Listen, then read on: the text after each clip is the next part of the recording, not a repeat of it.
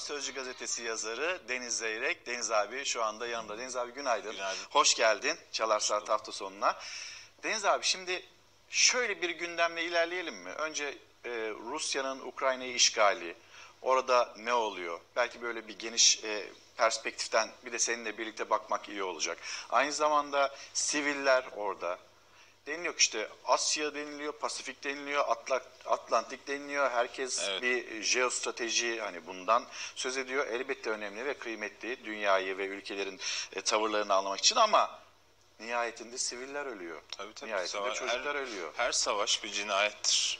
Yani Atatürk'ün söylediği gibi eğer milletin çıkarları elzem değilse, millet saldırı altında değilse, e, bir durduk yerde bir savaş başlatmak dünyanın en büyük cinayetidir. O savaşın sonuçları da katliamdır. Yani işte Kiev'de görüyoruz. Çocuklar ölüyor. O zaman hemen ölüyor. oradaki görüntülere Bu bir kabus. Yol kenarlarında uzun otostop kuyrukları var. Aracı olmayanlar bir otomobil durdurabilmek için kaldırımlarda, kucağında bebekleriyle. Kaldırımlardaki yaya kuyrukları gibi otoyollarda da yine uzun araç kuyrukları var. Sınırlara ulaşabilme mücadelesi veriyor Ukraynalı. Polonya, Slovakya ve Moldova sınır kapılarında da savaşın üçüncü gününde yığılmalar meydana gelmeye başladı. Ukrayna sınır kapısı. Son durum. Vatandaşlar kaçmaya çalışıyor. Ukrayna vatandaşları kaçmaya çalışıyor. Bir diğer kalabalıksa askerlik merkezleri önünde Ukrayna'da. Ukrayna Savunma Bakanlığı Rus ordusuna karşı silahlanmak için bekleyenlerin görüntüsünü paylaştı. Katil Putin! Katil Putin! Ukrayna'daki savaşa tepkiler de sürüyor. Türkiye'nin birçok şehrinde Ukrayna vatandaşları sokaktaydı. Benim masum kızım orada kaldı. Şu an Sırnak'ta saklanıyorlar. Her zaman elektrik kesiyorlar, gaz kesiyorlar. Ee, Bizim Yeniçis'te şu an e, kaç tane ev bombalamışlar. Bir tane kadın öldü. Ben annemi duymak istiyorum ama annem söylüyor ki hiç olmasa sen güvendesin. Ama benim kalbim orada, aklım orada, uyuyamıyorum. Yani orada yakınları olanlar başka ülkelerde coğrafyalarda uyuyamıyor. Ee, eşini, evladını, babasını cepheye göndermiş olanlar var. Onlar güvenli bir alan bulmaya çalışıyor. Ve dünya burada ne olup bittiğini anlamaya çalışıyor. Ne dersin abi? Ya şöyle Arkamızda mesela niye niye bu saldırıya başladı? Yani adam daha önce biliyorsun 2014'te Kırım'ı işgal etti. Hala Rus işgali altında. İşte Donetsk'te, Luhansk'ta bu- buralarda bir e, özerk bölge yarattı. Oradaki Rusya yanlıları işte bir, bir takım örgütlenmeler kurdular. E, özerk bir devlet kurduklarını iddia ettiler. Onları tanıdı. Hadi bunu da tamam. Yani e, de Ukrayna'ya niye giriyorsun? Yani burada bir şey var. Putin gerçekten hani KGB ajanı e, çok strateji e, şeyi çok gelişmiş, taktik şeyi çok gelişmiş. 2014'ten beri ilmek ilmek hazırlanmış. E, şey de Ukrayna'da e, ister istemez hani NATO'ya katılmak istiyor, NATO üyelerine güveniyor, Amerika'ya güveniyor, Avrupa Birliği'ne güveniyor. E, fakat yüzüstü bırakıldılar. Yani Ukrayna'nın e, Rusya ile baş edebilmesi mümkün mü? Yani şöyle düşün 190 bin askerle kuşatmış. 190 bin asker ne demek biliyor musun? Yani bizim mesela e, askerlik profesyonelleşme öncesinde işte yaklaşık 650-700 bin e, askerimiz vardı. Bu şimdi 200 binli rakamlarda. Yani profesyonelleştikçe ordu küçülüyor. Şimdi düşün yani Türkiye'deki e, hani asker sayısının yarısıyla bir kuşatma yapıyorsun. Tanklarla, roketlerle, hipersonik roketlerle vesaire. Ne yapmaya çalışıyorsun? Yani durduk yerde Ukrayna'yı niye bu hale getiriyorsun? Ve inanılmaz bir şey. Ben e, yani şu andaki Putin'in ruh halinin işte 2. Dünya Savaşı öncesindeki Hitler'in ruh halinden çok farklı olmadığı kanaatindeyim. Bugün Kırım, Ukrayna, yarın işte zaten Belarus'u biliyorsun orada kukla bir yönetim yarattı. Finlandiya deniliyor, İsveç deniliyor. Ha, Finlandiya biliyorsun yine NATO'ya katılamadılar Rusya'nın korkusundan yani. Böyle de bir sıkıntıları var. E, öbür tarafta Asya, Kafkaslar oralarda aynı şekilde şey yapıyor. Elinde çok hani bir- deli Sopası mı? yani deli deliyi görünce değneğini saklar derler ya. Evet. Şimdi bu elinde sopayla sokakta sağa sola savuruyor böyle birilerine vuruyor.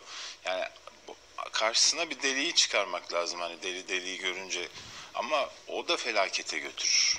Yani hep şey ben, mesela ondan da endişe ediyorum. İşte Amer- Üçüncü Dünya Tabii Savaşı'ndan. yani Amerika karşılık versin, durdursun. İşte e, NATO karşılık ve bu da savaş demek. Yani daha büyük bir savaş demek. O zaman e, savaşın yan etkileri biliyorsun yani ne yaparsan yap sivillerin ölümünden şey yapamıyorsun. Bir de gencecik insanlar asker gidiyor savaşıyor ölüyor işte. Biraz önce bir kadın dedi ya hani e, savaşta ölen çocukların anneleri niye savaşa karşı çıkmıyorlar? Yani bir benim hani ne yapmak lazım? Bence savaşa karşı çok açık tavır almak lazım. Yani Türkiye'nin pozisyonu ne olmalıdır diyorlar ya. Evet. Savaş karşıtı bir pozisyon olmalıdır. Yani ne olursa olsun. Kimi haklı görüyorsan gör.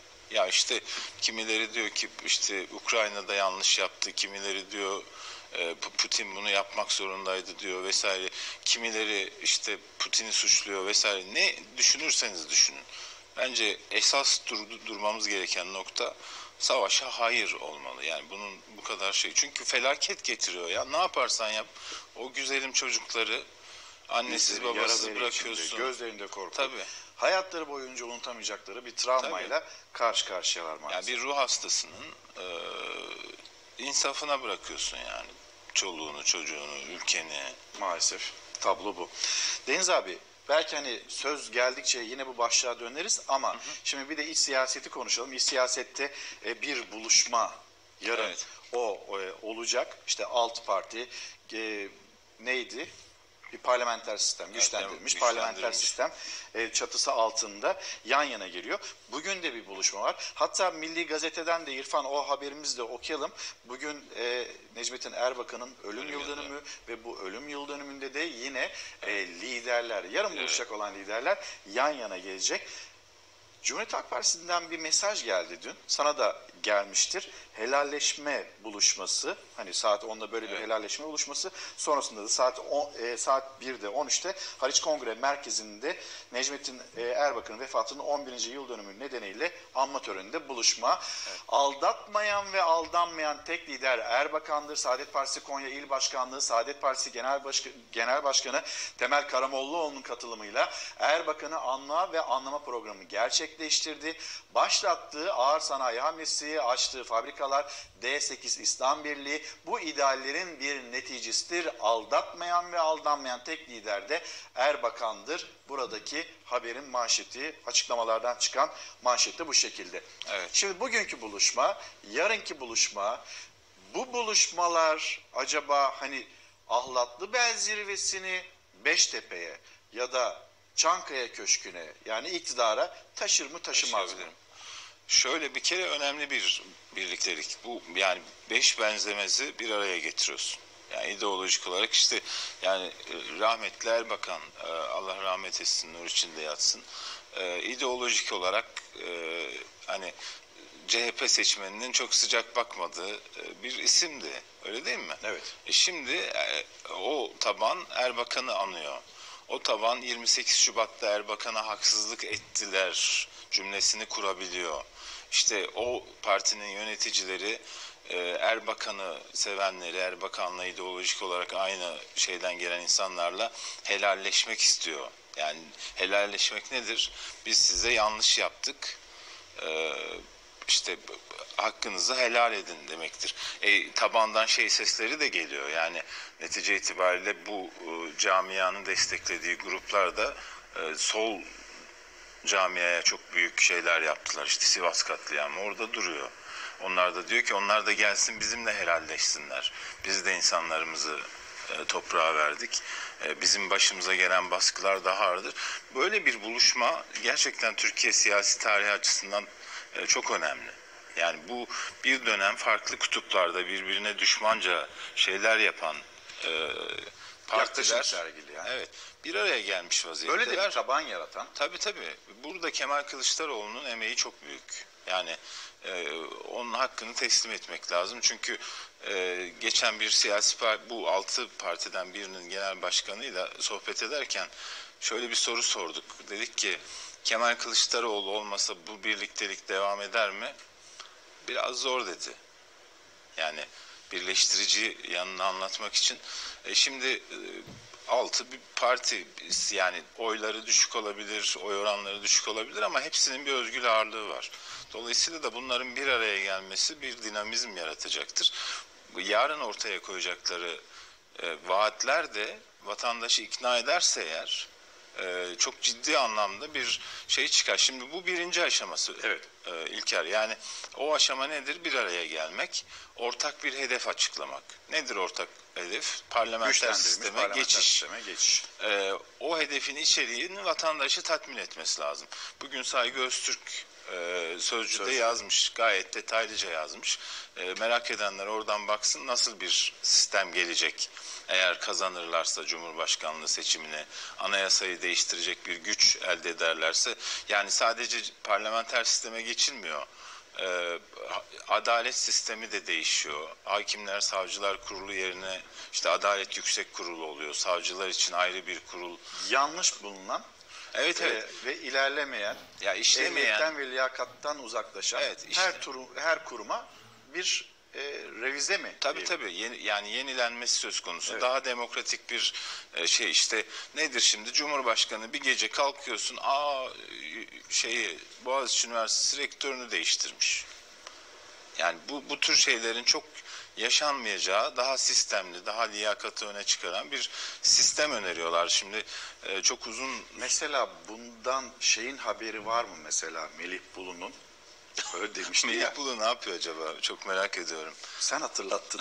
Buradan da seslenmiş olalım. Yok. Çok merak ediyorum. O kadar böyle şey bu bu tür görevlere gelenler hep şeyi unutuyorlar. Geldikleri gibi gide- gidecekleri gitme ihtimallerini. Dolayısıyla da böyle cansiperhane bir şekilde yapılan yanlışı savunuyorlar. Sonra yüzüstü bırakıldıklarında da e, büyük bir hayal kırıklığı yaşıyorlar ve sağda solda e, iktidarı ve işte e, kendisini bu sürece sokanları eleştiriyorlar. Ben öyle şeyler duyuyorum. Kendisinden değil de yakın Evet evet. çevresinden. Evet şikay- şikayetçi Ee, ama muhtemelen bir yerlerde yönetici yapılıyorlar. Ee, Çift maaşlı insanlara dönüşüyorlar falan. Neyse. Ee, Yani, Yani. ama işte kim ne oldu hani e, iki- neydi 2 Ocak 2021'di galiba. Ne o? Melih Bulu'nun şey rektör atandığı gece. Yani 14 ay önce. 14 ay sadece 14 ay. Nerede Melih Bulu? Vallahi bilmiyoruz. Rüzgar gibi geçti. hani bir daha sormuş olalım. Aklımızda Melih Bulu ile ilgili ne kaldı? Görevden alındı alınmadı o iddialar e, Ya gündeme geldi. dibine kibrit suyu döktü yani. Görevden alınmışım. Mesela bundan şeyin haberi var mı? Benim. Evet. demişti. Neyse yani sonuç itibariyle liyakatın şey olduğu bir Evet. bu atamaların vesaire belli bir sistem ve mantık içinde yapıldığı, hukuk devletinin öne çıkarıldığı bir şey açıklayacaklar. Şimdi bu birinci aşaması. Yani bir araya gelmek ve hedef koymak. İkinci aşaması o hedefin yol haritasını duyurmak. Yol haritası nedir o hedefin? İşte seçim yapılacak. İlk Cumhurbaşkanı seçimde yani ilk seçimde seçilecek Cumhurbaşkanı, ilk seçimde seçilecek parlamento Evet. e, ve sivil toplum bir araya gelecek bir anayasa yapacak. Bu vaat edilenleri bir anayasa metnine dökecek. Ondan sonra ne yapılacak? E, o anayasa referanduma gidecek. Referandumda kabul edilirse Üçüncü aşaması olacak işte. Ee, artık yeni sistemle yönetileceğiz ve bu Cumhurbaşkanlığı hükümet sisteminin e, hayatımıza getirdiği bir takım olumsuzluklar hayatımızdan çıkarılmaya çalışılacak. E, önümüzdeki şey bu, tablo bu. Bir de merak edileni var Deniz abi orada. Mesela bu sistemi vaat eden 6 parti. O 6 partinin Cumhurbaşkanı adayı ortak aday mı? Her parti kendisi mi aday çıkartacak?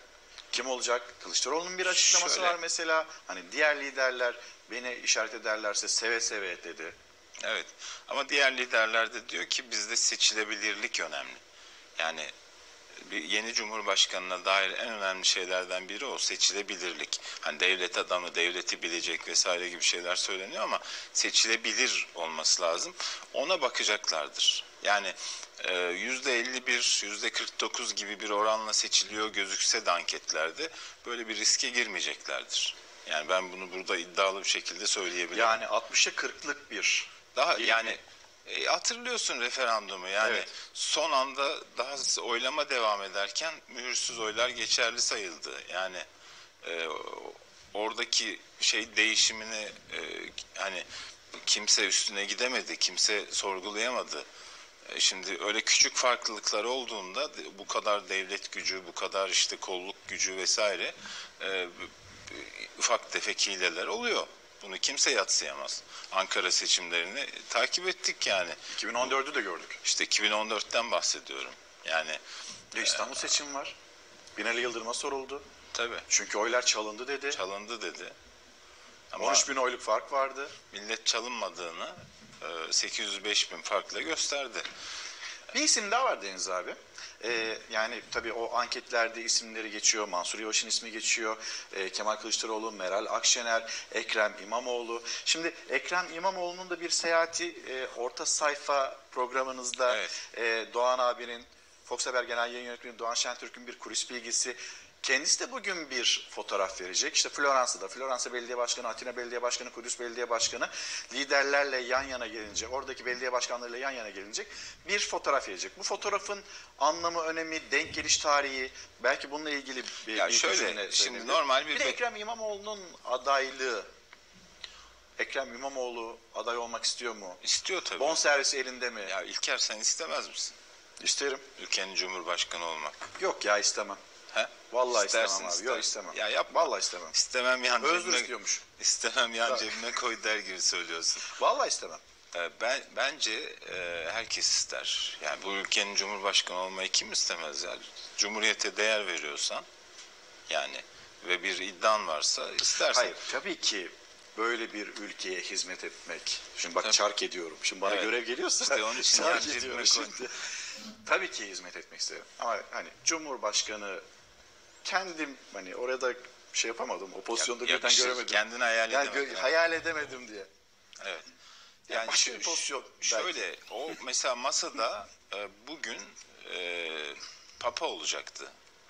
Evet. O buluşmada Yani- bir papa olacaktı. ve büyük ihtimalle de çok sansasyonel bir fotoğraf olacaktı. Şimdi Fatma Şahin de o toplantıya katılmış Ee, ama bugünkü o yemeğe katılmayacakmış. Yani Papa gitseydi eğer e, Fatma Şahin o karede olmayacaktı. Dolayısıyla da Ekrem İmamoğlu Papa aynı kareye girdiği için bayağı bir hedef olacaktı. Yani düşün İngiliz Büyükelçisiyle yemek bu kadar kıyameti kopardıysa Papa ile bir fotoğraf ne kadar konuşulurdu, ne kadar Çok. tartışılırdı. Çok. Şey Günlerce ama- bile savaşı falan unutur onu konuşurduk. Evet, Papa e, rahatsızlığını gerekçe göstererek toplantıya gitmekten vazgeçmiş. E, dolayısıyla da Ama bir... Floransa'daki başka programları da varmış da onları da iptal Tabii tabii. Hayır, diyorum ya şeyden Vatikan'dan Roma'dan Evet. Floransa'ya gitmeyecek yani. E, hani gidip de top, o toplantıya katılmamazlık etmiyor. Dolayısıyla da o fotoğrafın çıkması şeyi e, ihtimali artık yok. E, ama öyle bir toplantı vardı. E, hala da var, devam ediyor. E, işte uluslararası bir ortam. Ee, Ekrem İmamoğlu da ısrarla çağrılmış. Yani Doğan Şentürk yayında söyledi. Ee, Üç kere falan aramış Floransa, Floransa Belediye Başkanı lütfen gelin. Ee, gitmek istemiyormuş İmamoğlu. Israrla gelin demişler. İlginç bir fotoğraf olacaktı ama işte e, tartışmaya fırsat e, vermedi Papa. Acaba kasten mi yaptı? Bilmiyorum şimdi Cumhurbaşkanı mı oluyoruz? Ne oluyoruz biz? Ne oldu şimdi? Benim görevim ne oldu? Hangi görev verdin bana? ben vermedim. Millet verir Cumhurbaşkanlığı Şimdi görevi. abi Sen meselelere bir Bak bakalım. ama istiyorsan şey yapma. Yok abi Yani ben gayet niyetin iyiyim varsa- burada. Ben ne oluyor ne bitiyor memlekette onları aktaracağım. Hatta Deniz abi gel beraber bir konuşalım. Şimdi e, CHP lideri Kılıçdaroğlu'nun erken seçimle ilgili açıklama var mı bir erken seçim? Yok. Yok geçtim onu o zaman. Bu saatten sonra erken olmaz ki seçim yani.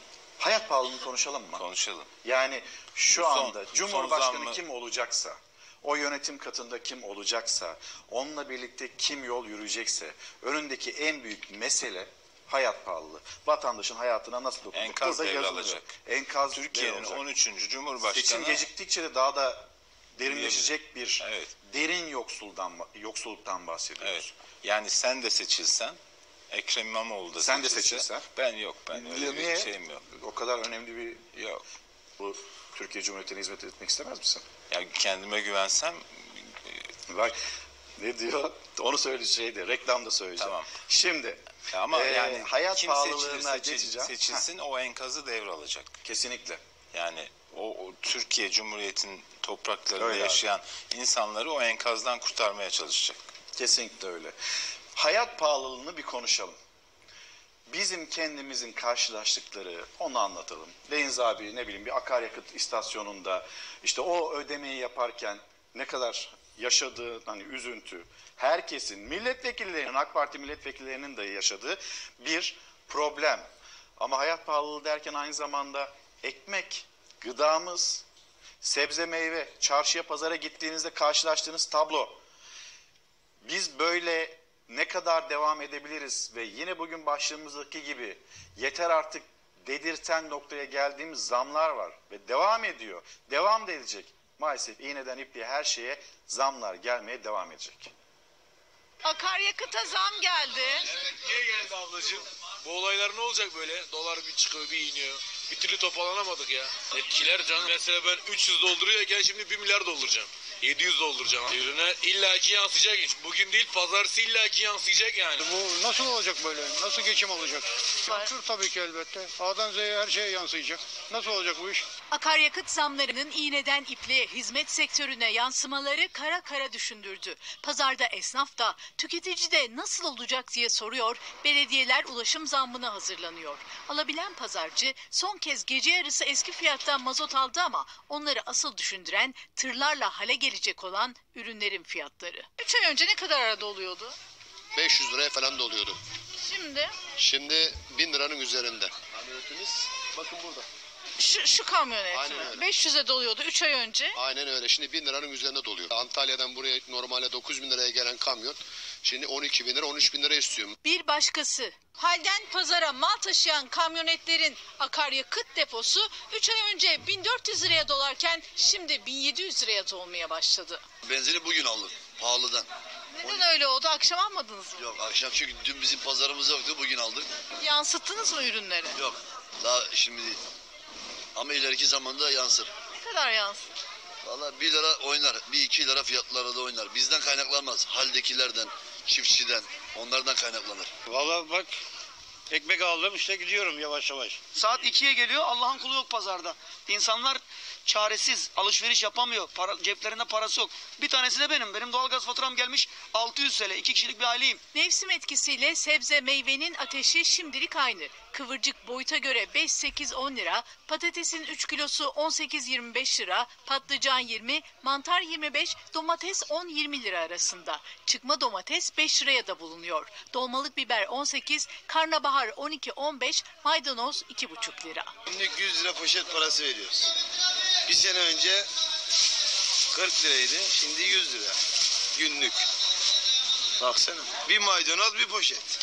Gitti 25 kuruş. Şehir içi ulaşım zamları da yolda. İETT Genel Müdürü Alper Bilgili, akaryakıtta 1,5 liranın üzerindeki zamma tepki gösterdi. Mevcut bilet fiyatlarıyla toplam gelir sadece akaryakıt maliyetini bile karşılayamaz duruma geldi dedi. Benzer bir çıkış Ankara'dan da geldi. Açıklamada EGO Genel Müdürlüğü'nün toplam gelirinin akaryakıt giderini bile karşılayamaz duruma geldiğinin altı çizildi. EGO toplu ulaşımda fiyat artışı kaçınılmaz dedi. Doğalgaz yakıyor, elektrik çarpıyor. Abi tablo bu. Hepimizin Çok yaşadığı ya. tablo bu.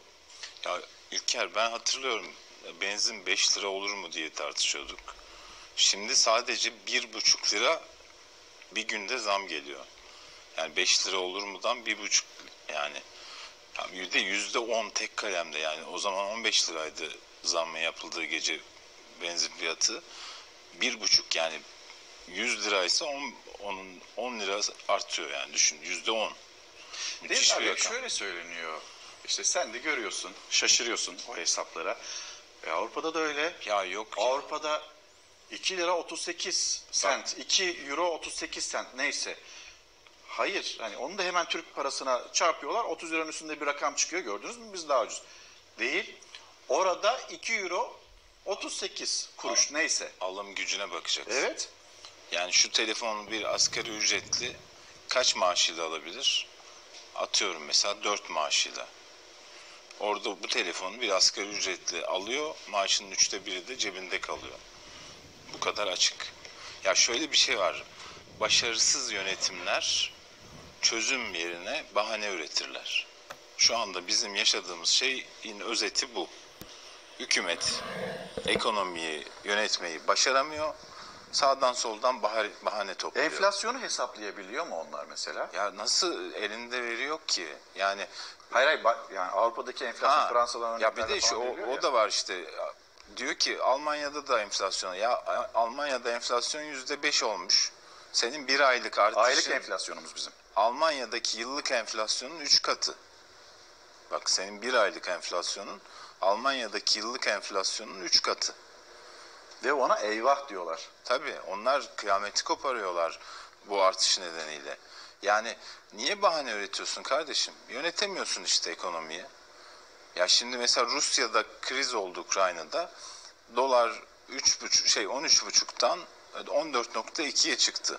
Onun bu kur korumalı mevduatlar üzerinden hazineye maliyeti ne kadar oldu biliyor musun? 10 milyar. İndi üstüne.